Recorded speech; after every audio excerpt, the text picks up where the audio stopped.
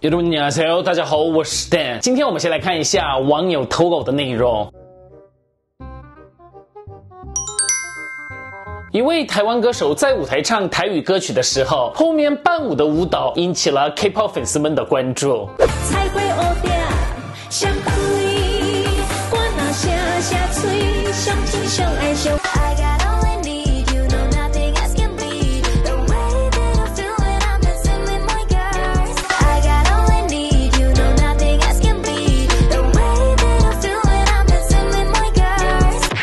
这件事情在韩国论坛是有在讨论，但并没有引起热议。我们来看一下韩国网友们的留言，真的是直接完全搬运了一段舞蹈。科科在别家歌手舞台正在前临几中，这不算抄袭，就是基本舞蹈动作吧。虽然是基本舞蹈动作，但是连接的一模一样啊，这超越抄袭了，简直就是瞒着歌手搞了一场 K-pop 表演。不过应该不是这位歌手的专属伴舞吧，很像是将非常喜欢的舞蹈按照这首歌的节拍跳了一样。所以这不是歌手的专用舞者，而是为了这次舞台特。别准备的舞者吧，与其说是抄袭，感觉这个团队很喜欢 The Set Up Team。就算不能用抄袭来定罪，但是就这样直接把舞蹈搬过来，确实不太好吧？看了好几遍都觉得，第一个发现这个的网友真的太厉害了。所以对于这个舞台的这个舞蹈，大家觉得怎么样呢？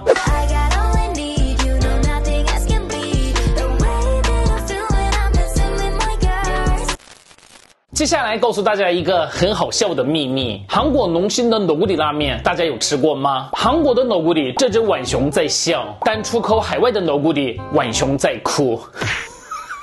那出口海外的浣熊为什么会哭呢？对此，韩国网友们表示，这是对外国人来说会辣到流泪的意思吗？是因为出国感到乡愁而哭泣吧？被卖到海外了，所以在哭吧？可可。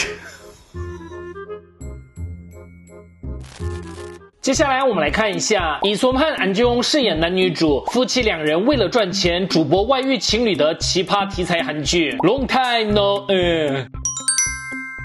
一对情侣正如胶丝妻，热情的相爱着。女主吴京和男主萨姆尔的挚爱情，在七年后的今天也变得平淡无奇。两人正处于无趴关系。武金在三星酒店当前台值班时，经常有外遇情侣前来登记。身为一个专业的吃瓜达人，武金默默的把这些情侣的名字记在了小红本上。丈夫萨姆尔毕业于名牌大学，顺利就职于大型企业。然而在途中意外患了心理疾病，无奈从大。起下线，转而成为一名个人计程车司机。两人的工作都是在晚上，因此彼此之间形成了现在的纯爱关系。今天的萨姆尔似乎是心不在焉，有客人招手搭车，他也装作看不见。为了避开乘客，他把车子停在了阴暗的小巷中。然而没过多久，一位客人发现了他的车，毫不客气的上了车。客人说想去江原道，萨姆尔以太远为由拒绝了他。客人说会给他五十万，萨姆尔马上启动了车，在去江原道的途中。客人又说中途要去京畿道，到了京畿道，客人又说等他一两四十分钟。萨姆尔刚要拒绝，客人又塞给他二十万。萨姆尔为了等客人，把禁止停车的标志牌拿开，把车停在了原地。就这样，他在车里睡了一觉，结果车被大雨淹没了。第二天，保险公司说他在禁止停车区域停了车，所以不能付保险。这次贪小失大了。吴京本想给朋友彩妍的女儿一笔零花钱，但他说女儿靠炒股，一个月能挣一百万。彩妍说这都是小事，开始透露了心事。她说丈夫性欲很旺盛，以前都是每天至少做一次，就盼望着这点过的日子。但从一年前开始，鼓掌的次数就变少了。彩妍怀疑是不是搞外遇了。另一边，两个男人正在唠嗑。萨姆尔的朋友琼素看起来有些烦恼，脸上满是苦涩的表情。我女朋友好像出轨了。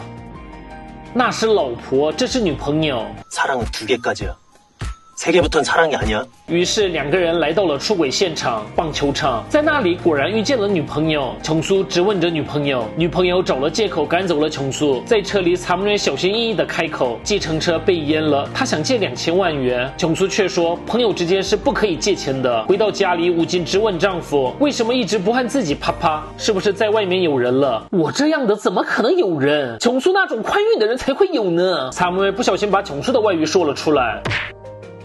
隔天，琼叔跪在地上求吴京不要告诉自己的老婆，本来就是上门女婿，自己可不想净身出户。吴京坚持自己是个有原则的人，绝不会背叛自己的信念。一看跪不行，琼叔答应会给夫妻俩三千万。吴京放下了信念，琼叔觉得常瑞就是故意的，他留下了一句绝交后离开了。夫妻俩用敲诈来的钱换了一辆全新的计程车。我还知道很多像琼苏一样的人，我们以后不用再过现在的生活了。吴京的小红本正式。解开夫妻俩的计划将会如何展开呢？韩剧《Long Time No》。嗯